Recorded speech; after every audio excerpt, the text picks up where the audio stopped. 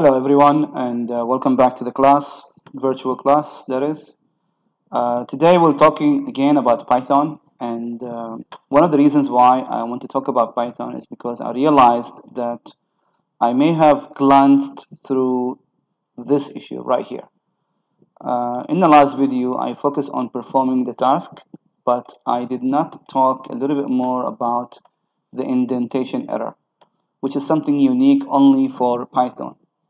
So I want to make a smaller video just to showcase this situation, this error, and talk about it more. So let's get back to our program, the one we, we worked on last time. So compile, execute, and run. So welcome, set the limit for A, let's say 6. And then enter number that is less than 6. Okay, that's a 4. Okay, so great enter less than 5, just say 5, and then something less than 5. You know what, I'm going to put 6. Nope, that's not good. Less than 5. So 3. So that works. Okay? So what I want to do right now is go back and notice, by the way, how these indentation now are actually applied here. Now, first of all, this is the situation where the indentation are done properly. Unlike, say, for example, in C, right? We are uh, I generally personally like to do indentation also because I like it to be organized. But in C if I just did this or this or this nothing's gonna happen. The program is still gonna run just fine. So I compile compile successfully execute and it still runs just fine. Define the limit for the first integer. This is a C by the way so less than 5 okay 4 okay then second integer safe 6 so less than 6 will be 2 oh, let's just try 6 first. So no that's not going to work. So 2 so it still works. You know what I mean? That's because in C indentation does not matter because in C they use brackets to identify the blocks of code. But in Python you cannot do that. If I just come here now and I do this right there just indent one file on one line only and then run it. And straight away you get the infamous indentation error. Unexpected indent and compilation failed. So get back and fix it just to ensure that I get right. So save the file compile successful. And then execute and it runs just fine. And this is actually brings me to a very important point as to why sometimes how do you manage indentation? Now, if you watched the video last time, you noticed that I did not indent by myself. I did not use spaces. I'm going to remove those purposely. And uh, essentially, I'm going to do this. So this is right now, nothing is indented. So some people indent by using the tab button, which is not a problem. It still works, actually. But the, the reason why the tab option is not um, good because although you and me understand what the tab means, the tab could mean different things in different IDEs. Uh, Geany here is an IDE or an integrated development environment. There is a setting for it in edit, uh, preferences, editor I think, and uh, indentation right there. You see this is the default setting which is the width which is 4 and use spaces. Actually, this is not a good idea. It should be on tabs, uh, not spaces and not tabs and spaces. It should definitely be tabs only. And uh, it has to be uh, from 4. Now, this is what I meant in the slide by IDE settings.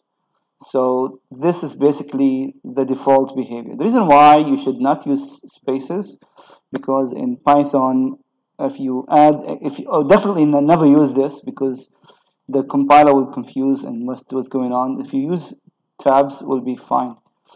If you put spaces and tabs and you do this just an extra space right here that will cause an indentation error. So that's why you should always use uh, tabs only. Now I suggest that the best way to do this is to do what I just did. Essentially if you want to indent just let Python do it for you so you this is essentially this is a function, define something, and you want to indent. So just come here before the line and hit enter. It will indent automatically for you. Next thing here, we want to indent this. Now here's the here's the challenge right now. this print right here, should I indent here or should I indent here?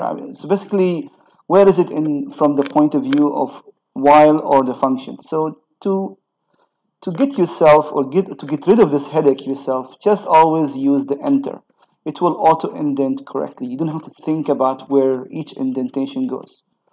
Okay, the next line, what is it? Next same thing, back, back, back, and then until the last line. Okay, back, back, back, back. Okay, here, and then enter. It will figure out the right indentation. Now, pay attention for a second. Uh, you cannot just do this all the There's a problem with this. You see, if you just use the enter, it will always indent for the last element right here. But what if we don't want to do this? Now, if you run it like this, this will print inside the loop. You know what I mean? But if you remember the function, the print was outside of the loop, is that right? And then the return was outside of the loop. This is our C++ function.